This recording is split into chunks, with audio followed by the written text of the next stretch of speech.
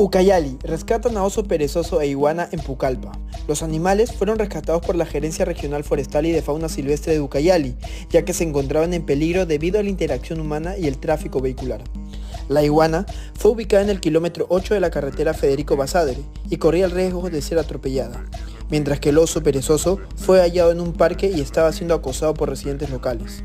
Ambos animales fueron puestos en cuarentena y posteriormente liberados en un lugar seguro, lejos de las amenazas humanas. Un hecho parecido ocurrió hace unas semanas cuando dos lagartos fueron encontrados cerca del reloj público de Pucallpa.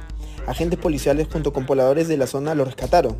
Ante este panorama, las autoridades exhortan a los pobladores que cuiden a los animales silvestres que durante esta temporada de lluvias se desplazan a las zonas urbanas.